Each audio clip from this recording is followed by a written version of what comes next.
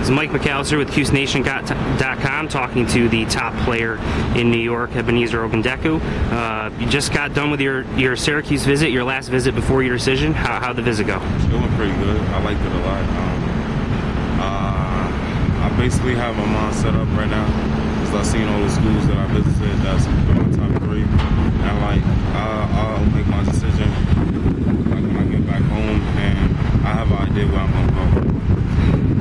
Now, how, your visit ended up being over, you know, two and a half days or so. What was the uh, uh, rationale behind staying up in Syracuse for so long? Uh, it's, uh, like just uh, finalize my decision and to see if that's a place for me or not, and just like just spend some time with the players that I might be playing with in the future. Now, what players specifically did you have a chance to talk to and meet with? Eric Crume, um, Teron Hunt, Stephen Renee, Wayne Morgan, Albert Cornelius, um, and some, some other guys. They do a lot of recruiting trying to get you to come here. Yeah, especially Eric Crume.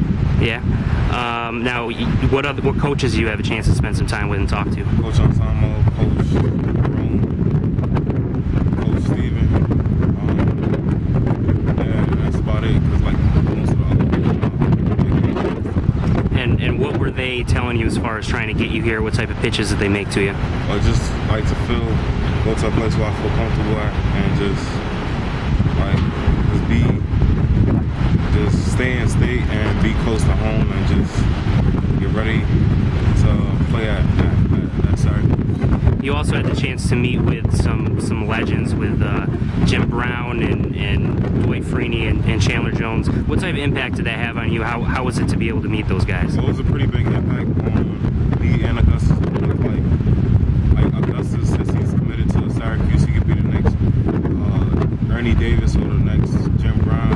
I like say if I come to Syracuse, I could be the next Chandler Jones or Dwight Freeney. And, and I know Dwight Freeney is a guy that, that you look up to and you idolize. So, Yeah. what, what types of things did he talk to you as far as playing at Syracuse and, and just in general? Just focusing on education, not all about football. Because God forbid something happens in football and something doesn't work out, I can still have my education and be close to home. Like like when I'm feeling homesick, I could just go home, two hour flight ride, and just go home and just like eat my mama food and stuff like that and just have fun. How did the visit overall impact your decision? Well, it impacted my decision a lot because like it it it, it helped me like to either cancel out my Syracuse on my list because I'm making my decision in a week, or to put them at my top and just and just look at it like to see if I could live there for the next five years and be a starter. But you're not going to tease and, give any more information. You're just going to wait for your decision, correct? Your announcement next Yes, week? yes, Okay, thank you very much. no problem.